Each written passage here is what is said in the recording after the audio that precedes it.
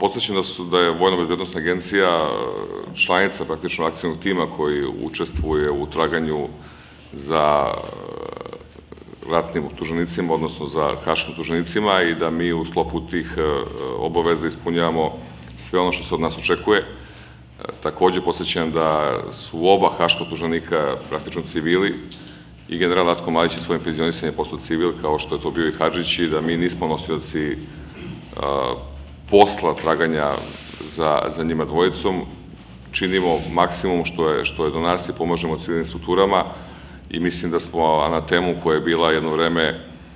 u javnosti kao, kao opšte prihvaćena odagnali od nas i da zaista sada niko više ne sumnja da pripadnici Ministarstva odbrane imaju ikakve kontakte sa haškim tuženicima. S druge strane, kao što smo malo pre rekli, mi imamo ogroman broj penzionera vojnih, 55.000 vojnih penzionera u odnosu na manje od 30.000 zaposlenih u ministarstvu je velika količina